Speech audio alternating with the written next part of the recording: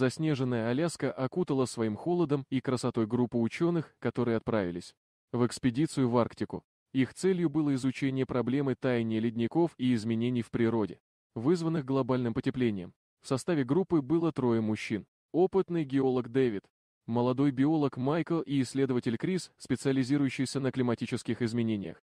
На третий день экспедиции, пока они преодолевали снежные покровы и ледяные образования, взгляды ученых привлек странный силуэт вдали. Неизвестное создание выглядело как громадная лохматая туша, покрытая снегом и льдом. Ученые обменялись взглядами, осознав, что они столкнулись с чем-то невиданным. Приблизившись к находке, они обнаружили, что эта туша неизвестного животного не похожего ни на одно известное на Аляске. Стремительно они приняли решение связаться с главным центром и сообщить об уникальной находке. На следующее утро над экспедицией зазвучал гул вертолета, который прибыл для транспортировки загадочной туши в безопасное место.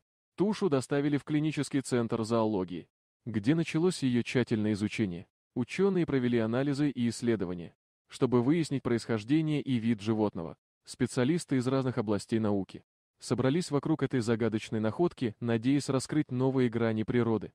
После исследования неизвестное животное передадут в музей, где оно станет объектом интереса.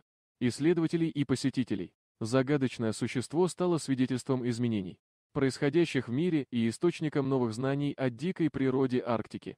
Эта история стала началом для новых открытий и исследований, но оставалась загадкой и вдохновением для ученых, стремящихся познать тайны природы и сохранить уникальные экосистемы нашей планеты. Дорогие друзья, если вам понравилось видео, поставьте лайк, а также подписывайтесь на канал, где найдете еще много интересного.